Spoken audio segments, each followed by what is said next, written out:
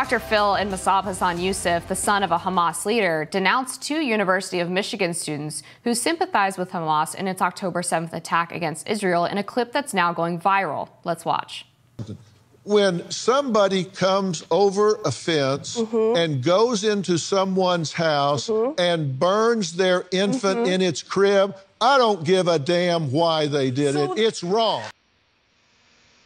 Yousef also took a turn criticizing the views of the pair. Yes, there is no difference. Really?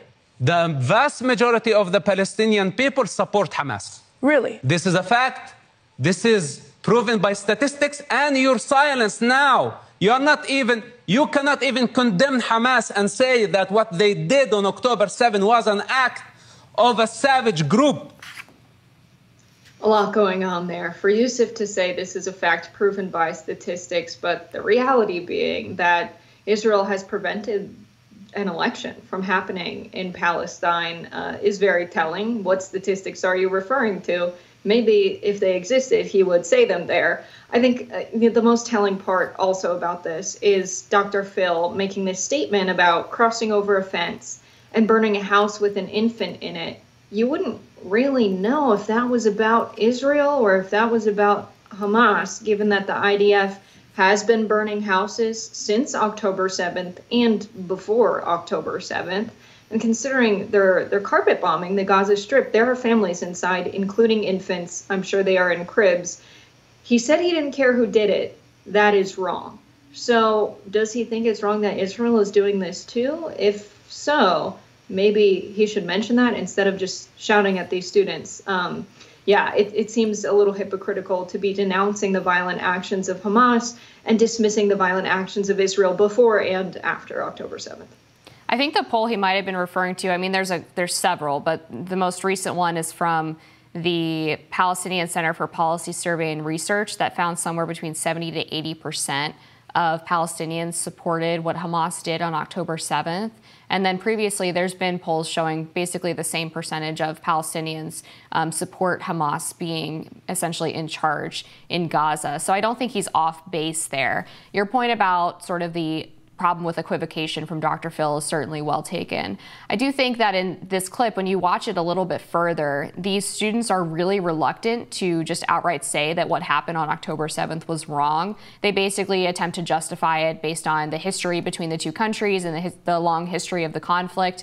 And I don't think it really should be that difficult to say that both Hamas and Israel have committed atrocities in the name of this war that they're waging on each other for centuries. I just I find it hard to understand why people have a have a difficult time condemning both. Yeah, I think, you know, when you have the Palestinian Authority controlling the West Bank and you have this lack of elections, saying they support Hamas as a political group for leadership is is different from saying they support an action by Hamas on one specific date. I think a lot of Palestinians have seen throughout their lifetime the prevention of their creation of a military to protect themselves and their land, the encroaching of Israel onto Palestinian territory, displacing families from their homes, uh, the violent attacks on Palestinians, I mean, from 1948 to October 7th and afterwards. I think they view this as an act of defense in the same way that after October 7th, so many people, this was the first they were hearing uh, about the, the war on Gaza, the war on Palestine by Israel. And they said, oh my gosh, this terrorist group has attacked this peaceful country, knowing very well this, this was actually an act of retaliation, an act of defense after so much of their land has been taken. If this was the United States, and there was a, a, group across our border that was taking our land, pushing people out of our houses, burning them, we would very well say an attack of us against them was justified. We have a right to defend ourselves. We can attack them back. But the, that same sort of moral calculation is not made for the Palestinians. And I don't know why one group for the same actions is, is called terrorists and the other group is called the defense forces. Now, I think that kind of logic for anyone who's saying condemn the actions of Hamas, yes, condemn violent actions, of course but then say Israel has the right to do whatever they want in response, that is not condemning the violence that happened before October 7th. So if you if they really believe, you know, Dr. Phil, Yousef, anyone who's making excuses for Israel today, if they really believe, you know, actions that are atrocities, that are eh, terribly violent, you know, killing innocent civilians, then they would condemn the actions of Israel as well. And it seems to be, you know, picking sides and, and not having that same moral calculation made for both sides.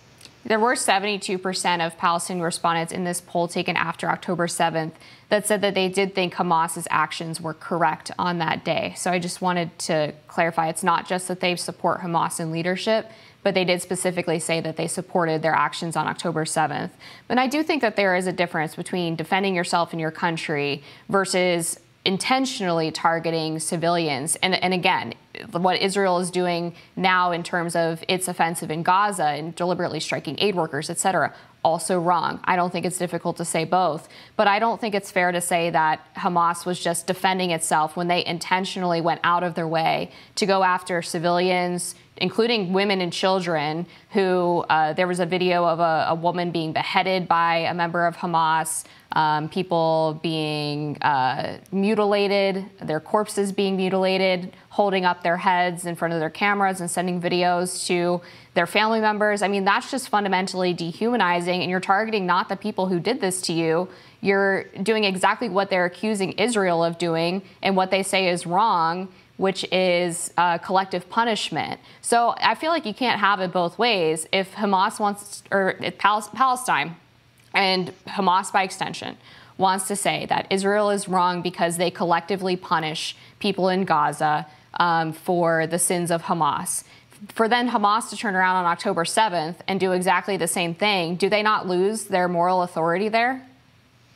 Well, when the people that they did attack were occupiers on Palestinian land, these were people living in a settlement that was Palestinian land. Palestinians were pushed off of it and their houses were burned.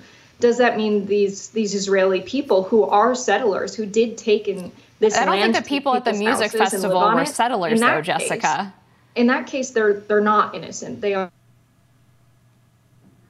that there are you know, huge borders. This land is controlled by the Israeli defense. They've denied Palestinians any right to a military, which any sovereign state, you know, is allowed in this modern world to deny a population of people who have had this state for a long time the ability to have a military. They don't have means to defend themselves. And so it's very difficult for them to go in and do any kind of strategic attack that would require military technology uh, and, you know, sophisticated weapons. So this is really all they can do is attack the people that are on, you know, their settlements. And so the fact that you know you have Israel claiming to be the victim in a situation when they have the one of the most advanced militaries in the region equipped by U.S. weapons. I think this is a situation where it's a very unfair fight. So to attack occupiers on settled territory and to understand, you know, the the situation that is in the Gaza Strip, that is in the, the territory that's been taken by Israel, that these people are occupiers. So to say on the Israeli side that there are no innocents in Gaza when they're living on land that's been theirs for a very long time, they're not members of Hamas, they're not terrorists, but simultaneously to say that people who are occupying Palestinian stolen land are are innocent, it's it's really not the same moral calculation that's being made.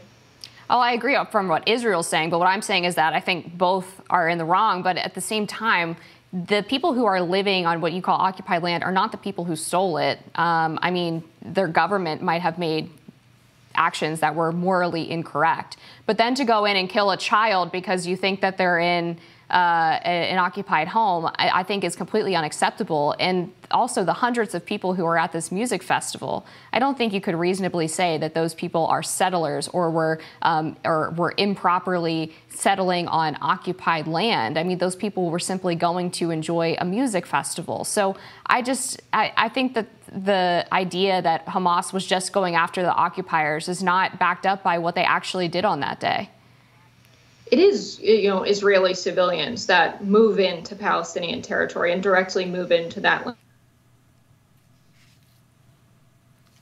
part of this settlement project. The people who go in and move into Palestinian land. There are are words for this in Hebrew for people who go in and, and make these settlements. It's just an explicit part of Israeli life for those who are participating in the occupation. We're going to have to leave it there. More rising after this.